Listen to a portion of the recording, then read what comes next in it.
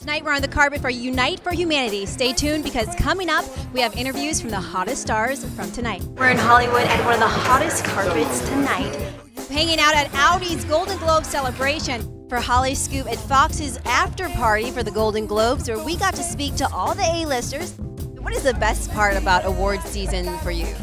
Um, oh, the mm, the free booze.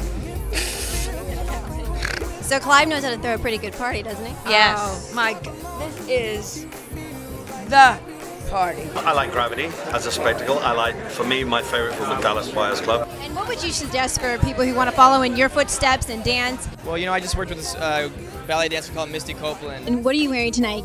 Oh gosh. the boots. Um, Jeffrey Campbell boots. You just revealed that Jennifer Lawrence uh, suggested that you star in this film. I sent her an email and I just asked how Hunger Games had affected her and her world. Cameron Diaz is no stranger to red carpet glamour and chic style. Today we are in Los Angeles on West 3rd Street, street that might not be as well known as Rodeo Drive or Melrose Avenue, but definitely holds its own when it comes to top-notch eateries.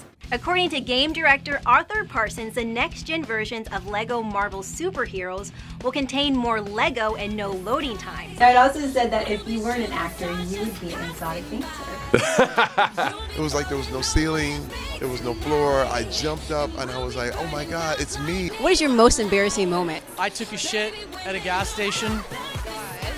At a gas station outside the car in, in plain view. Now, we know that you went to see Demi Lovato's concert recently. What's your favorite part of her concert? I mean, to be honest, I've I think that I think she's done a fantastic job. What is going on with Justin Bieber and Selena Gomez? Bradshaw loved to wear Manolo Blahniks, and Parker will use that to develop the colors, patterns, and styles of each specific shoe in her line. Everyone at the time was like, You're so lucky, you kissed Brad Pitt, but I thought it was disgusting. I didn't kiss anyone else until I was 16.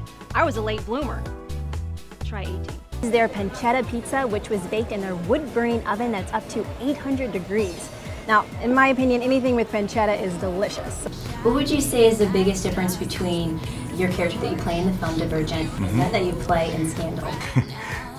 Andrew Prior is much more disciplined than Fitz. oh, that's not fair. I would have to say, I've never seen a diamond in the flesh. Riding with people, I'll be sitting in a car service or something, and I'm like, go, go, go. Deaf Digital. It's a fun place that you know, young artists get to, to um, experiment, and create.